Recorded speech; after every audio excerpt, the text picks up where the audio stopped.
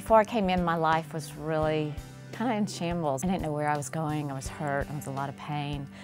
Really numb. Um, this was a last-ditch effort coming here to LifeWorks. I had um, been referred to Melanie Wells. I had been working in a variety of different practices for years and I'd worked alone, I'd worked alone in a group. I was really frustrated by the lack of collaborative input. One day I was driving along Lover's Lane and I saw some space and I thought I, I just had this vision that I wanted to have a collaborative team to work on cases together.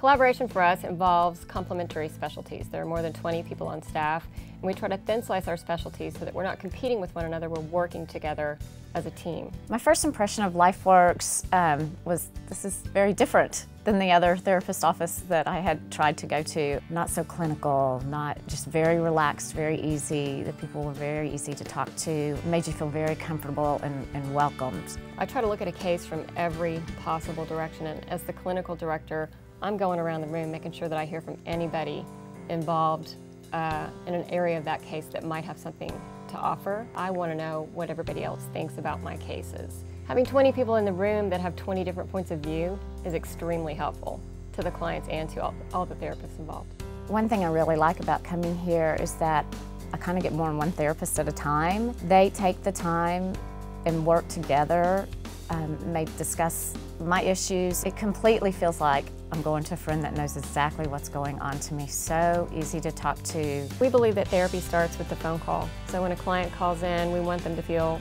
welcome and we want to be able to give them exactly what they need. Part of my vision for LifeWorks is to train therapists well, but also I, I want to be able to offer services to a wide range of individuals. I don't think money should ever be the reason not to come to therapy. I don't even know how I would thank Melanie for what she has done for me. Words are not enough. It is invaluable what she has done. I love her to death. She's fun and just a really sincere person.